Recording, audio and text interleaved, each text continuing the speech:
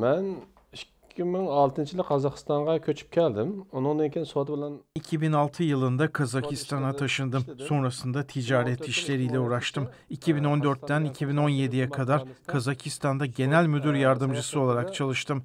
Kazakistan Expo dolayısıyla Urumçi'deki büyük bir etkinliğe davet edildim. Etkinlik bittikten sonra anne babamı ziyaret etmek için ayın 25'inde akşam saat 11'de Pichong'daki evlerine gittim. Anne babamın yanına. 26 Mart 2017 tarihinde sabah saat 10'da 5 polis iki araçla geldi. Beni zorla götürdüler. Hiçbir neden yoktu. Buna rağmen beni götürdüler. Qo'lga ilib soqchixonaga olib borgan ekan butkul Emniyet müdürlüğüne götürüldükten sonra pasaportuma, cüzdanıma, paralarıma hepsine el koydular.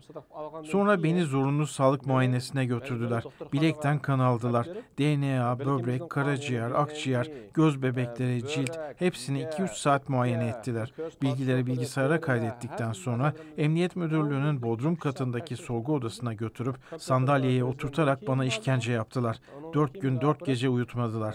Aç ve susuz bıraktılar. Sen devlet güvenliğini tehlikeye attın, terörist olmaya çağrıldın, teröristleri bir araya getirdin. Yani Türkiye'ye, Suriye'ye, yabancı ülkelere adamları gönderdin suçlamalarına maruz kaldım. uni yo'lbos o'rindiqlarga o'tirg'izib to'rt uch kunduz qiyin qistoqlarga Sandalyeye böyle oturtarak dört gün gece gündüz işkence yaptılar, dayak attılar. Hatta iple asarak zorla itiraf almaya kalktılar.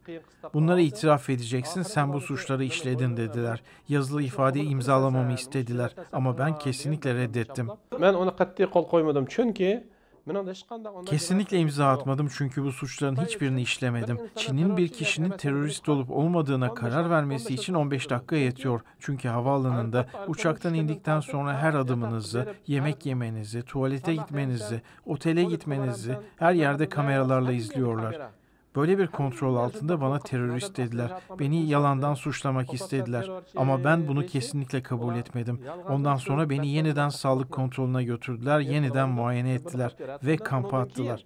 Ee, bu qiyin qistoqlardan so'ral so'roqlardan keyin e, meni bu İşkencelerden, sorgu suallerden, sağlık kontrolünden sonra beni hapse attılar. Hapse atmadan önce elimi zincirleyerek yalnızca beni değil 13 yaş üstü 80-90 yaşa kadar herkesin genç yaşlı demeden eline kelepçe vurarak hapse attılar.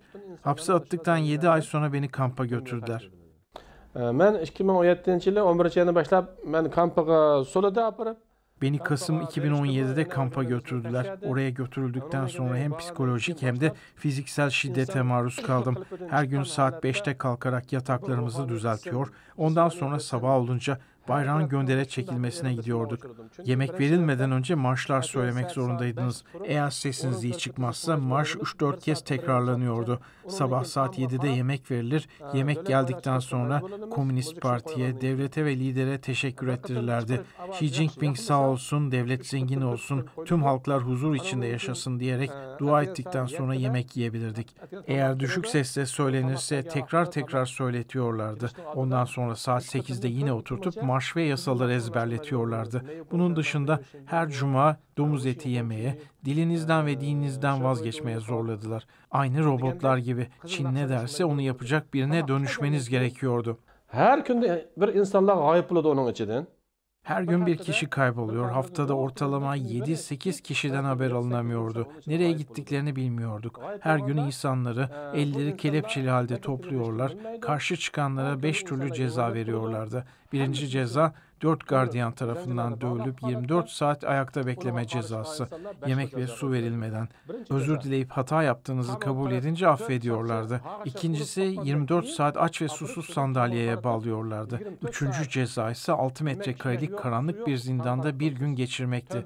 Dördüncü ceza yazsa sıcakta güneşin altında tutuyorlar. Kış gününde ise kalın buzun üzerinde çıplak ayakla duruyordunuz. Bir de üzerine su serpip ayağınızı buza yapıştırıyorlardı. Hem psikolojik hem de fiziksel olarak çok yıkıcıydı. Ölüme bile yol açıyordu. Beşinci ceza ise boynunuza kadar sizi suyun içinde tutuyorlardı. Bu işkenceler yüzünden iki akrabamızın dayanamayıp öldüğüne tanık olduk.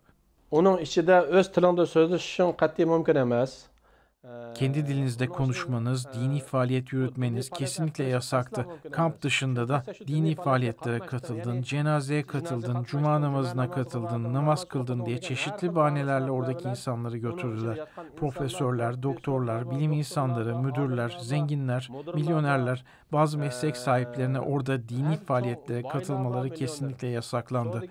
Dışarıda normal dini faaliyetlerde bulunanları terörist diye suçlayıp hapse attılar.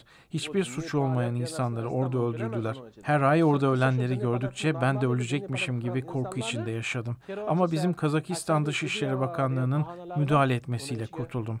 Konsolosluktan iki kişi geldi. Biri Pekin'den, biri Urumçi'den. Eğer Kazakistan vatandaşı olmasaydım oradan sağ çıkmam mümkün değildi. meniki oilamdan hech kim yo'q men tutilgandan keyin meni akalarimni meni ayolimniki Ailemden kimse yok. Benim abilerimi, eşimin akrabalarını kamplara götürdüler. Ben Kazakistan'a geldikten sonra olup bitenleri medyaya anlatınca kız kardeşlerimi, annemi, babamı hepsini kampa götürdüler. Eylül 2018'de babamı kampta öldürdüler. Yani sen bu kamp konusunu tüm dünyaya anlatıyorsun, çeneni kapat, bununla ilgili konuşma diye uyardılar. Bu zamana kadar kız kardeşlerimden, abilerimden hiç haber yok. Öldüler mi, kaldılar mı, kamptalar mı, dışarıdalar mı hiçbir bilgim yok. Temas kurmanın imkanı yok.